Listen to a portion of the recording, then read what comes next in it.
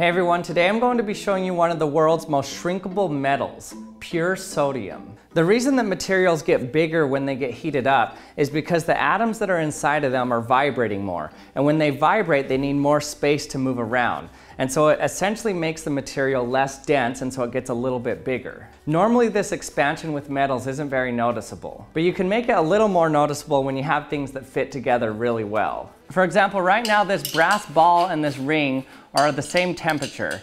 And so you can see the ball barely fits through the ring. It's a pretty snug fit, but it fits pretty easily. It can just fall through, in fact. So I'm gonna put it through like this, but now I'm gonna heat the ball up.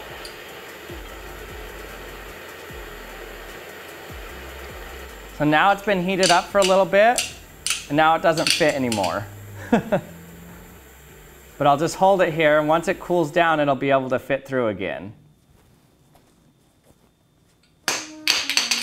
So just by heating up the brass ball, it was able to expand a little tiny bit. But the only way we were able to see the expansion is because I had a ring that was able to fit almost perfectly around it. We can see this change in length a little bit better when we put two dissimilar metals together. For example, on the top of here is brass and on the bottom is iron. Now watch what happens when I put it in liquid nitrogen.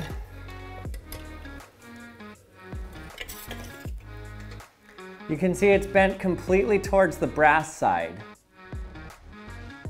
But now as I heat it up, you can see that now it's bent towards the iron side. And so when you heat it up, it'll bend towards the one that has the lower expansion coefficient. You can get quite a significant amount of energy out of this as well. So I have a coin here that has two dissimilar metals adhered together. So I'm keeping it warm in my hand, and when it's warm in my hand, it bends one way. But if I set it on the table, it cools down and it pops up.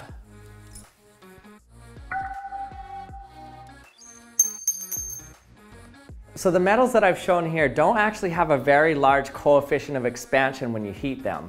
What's cool about sodium metal is that it has a huge coefficient of expansion. It's about 10 times higher than iron. And what this means is we should be able to actually see the change in length or volume of a piece of sodium.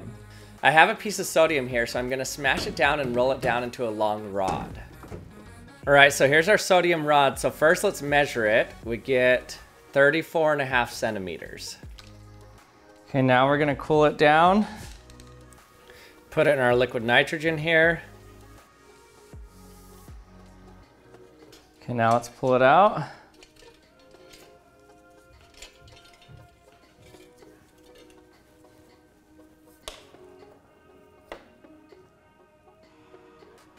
So now we're right around 34 centimeters, so it's lost about a half a centimeter. So I heat it back up now, and it gets back to 34 and a half centimeters. Here's a sped up version where I pour on the liquid nitrogen while it's laying on the table, and you can actually see it shrink. So this is so cool. This is the only situation where I've actually been able to see a length change due to thermal contraction. With a normal metal, you can't show this because the thermal contraction is so much lower. For example, we'd have to have a piece of steel that's 10 times longer than this. But when you get the length so long, it's hard to heat it up or cool it without it just reaching room temperature because the surface area is so large. And of course, since this is sodium, there's a good way to get rid of a sodium snake. Just throw it in a bucket of water. Okay, here's our sodium snake.